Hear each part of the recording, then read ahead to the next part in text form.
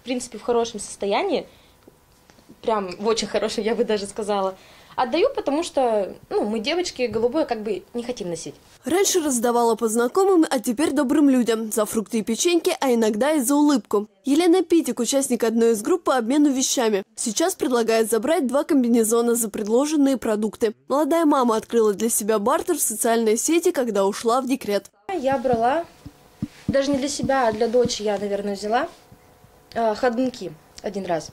Вот уже больше полугода Елена меняется вещами. Говорит, такие группы особенно удобны для молодых мам. Но даже когда дочь Алина подрастет, свое увлечение бартером девушка не оставит. Хотя бы раз в месяц будет отдавать ненужное. Наткнулась на страницу, ну и решила поучаствовать. И выложила я тогда, помню, первый комбинезончик. Ну, мне, в принципе, сразу его забрали через несколько часов.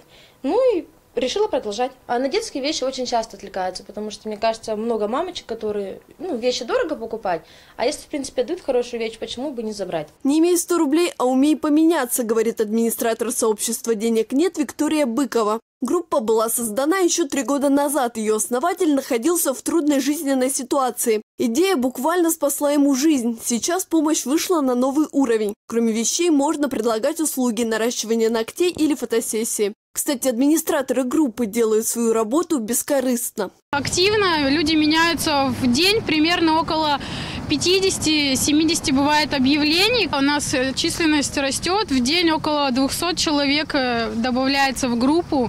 Ну и также расширяется у нас не только в Красноярце меняются, также со Сосновоборска, ну, ближайших Дивногорск приезжают меняться. В условиях кризиса популярность таких групп только возрастает. Если раньше менялись мелочами, теперь и мебелью, и электроникой, и бытовой техникой. Есть и такие группы, где делятся, к примеру, едой. В группе фудшеринг можно и поделиться, можно и попросить. Отдам бесплатно продукты. Села на диету, перестала все это есть. Ну не пропадать же добру. Здравствуйте, я мать-одиночка двух детей и мама-инвалид. Помогите, пожалуйста, нуждаемся в продуктах. Фудшеринг сейчас набирает популярность по всему миру. В красноярской группе, где можно отдать еду, пока чуть больше 500 участников. Но идея стремительно набирает обороты.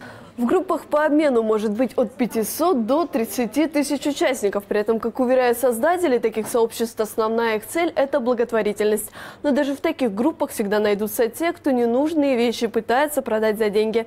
Для таких у создателей сообществ суровое наказание – пожизненный бан. Ирина Денисенко, Вячеслав Казаков, Афонтова. Новости.